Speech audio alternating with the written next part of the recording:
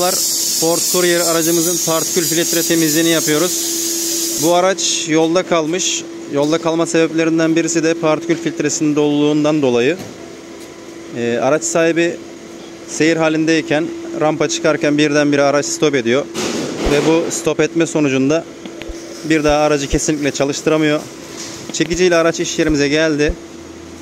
Ee, biz de yaptığımız kontrollerde aracı cihaza bağladığımızda araç rejenerasyon sırasında partikül sıcak, sıcaklığının çok fazla olduğunu söylemiş ve bu şekilde arızaya geçmiş kendini korumaya almış araç. Sonrasında e, partikül sıcaklık verilerini e, cihazdan sıfırladık. Bunu orijinal cihazla yapabilirsiniz. Bunu sıfırladıktan sonra hata kodlarımızı sildik ve aracı çalıştırdık. Tabi aracı çalıştırdıktan sonra partikülün temizlik e, işleminin de yapılması gerekiyor. Bu sebeple biz de partikül temizleme sıvılarımızı araca uyguladık. E, şu an temizleme sıvımızı sıktık ve araç yaklaşık bir 15-20 dakika kadar bekledi. E, bu sıvı kurumların çözülmesini sağladı ve aracı çalıştırdık şu an. Partikülü e, yıkama sıvımız, sıvımız sıkmıştık. Az önceki gördüğünüz duman e, bu sıvının kurumları yaktığına işaretti. İkinci aşama olan e, durulama sıvısını sıkıyor. Değil mi abi? Evet. Şu an durulama sıvısını Böyle uygulayacağız. için durulama sıvımız da. Ee, İlk etapta bu uygulamada ilk sıvıyı sıktığımızda aracı hiç çalıştırmadan bir 15-20 dakika beklettik değil mi ustacığım? Tabii 15-20 dakika ilk etapta beklettik. Sonrasında aracı çalıştıraraktan bir 15-20 dakika civar çalıştırdık. Aynı zamanda ara ara gaz verdik usta. Evet. Sonrasında kurulama işlemini de aynı şekilde yapacağız.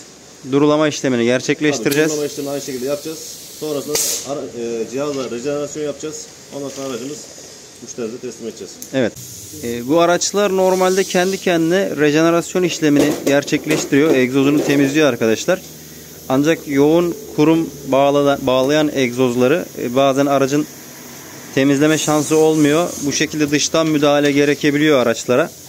Dizel araçlarda e, aracımız Ford Courier, Ford Fiesta Kuga'da bulunan motora sahip bir araç.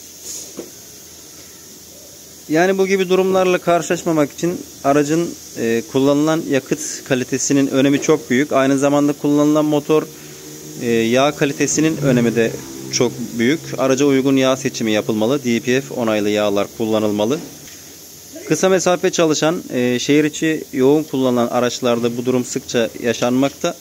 E, uzun yol araçlarında pek rastlanılmıyor. Çünkü sürekli araç e, sıcak olduğu için e, kurum olayı daha az oluşuyor.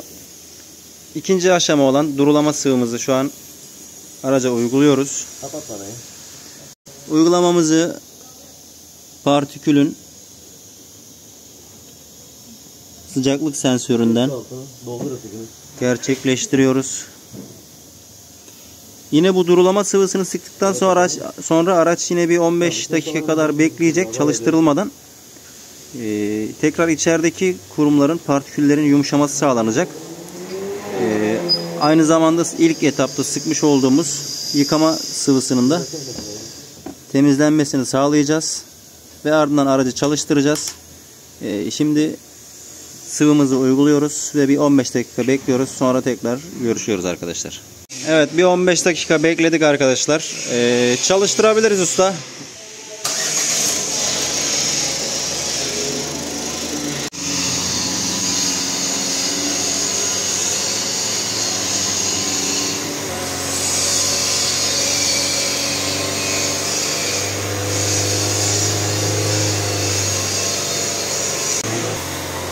Durulama sıvımız şu an durulama işlemini yapıyor.